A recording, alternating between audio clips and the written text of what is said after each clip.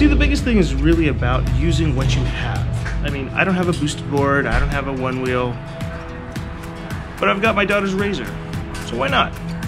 Wanna go around the block? Let's go around the block.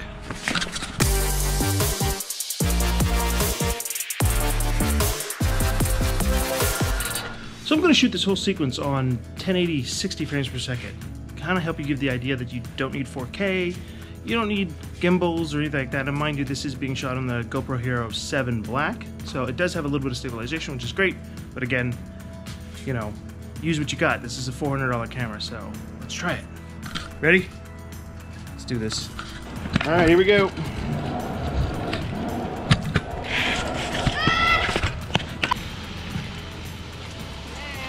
Hello. Was gonna film him going around the block on Kaylee's razor. Okay, guys, let's go. And yes, I do know I should be in closed-toed shoes, but you know, living on the edge. What's important is capturing the story.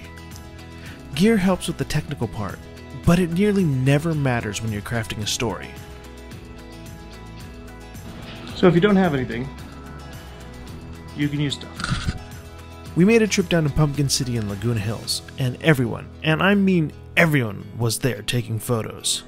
Yes, I shot this B roll in 120 frames per second, but most phones made in the past five years also do the same.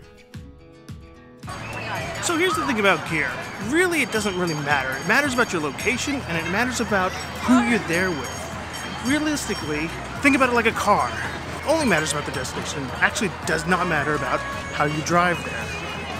If you're lucky enough to own a camera, any camera, then you can tell great stories and make amazing images. Sure, we can go into forums and go round and round about the best camera for this and that, but in the end, we just need to get off the downward spiral of these forums and get a tool to create with. So here's the thing. Look at all these people. There's an amazing backdrop, and it's about who they're taking photos of and where they're at. It's not necessarily about the camera. The camera doesn't make the moment. The area and the people make the moment. Think subject matter and location. Find your talent, find your voice, find a great location, and find your subject.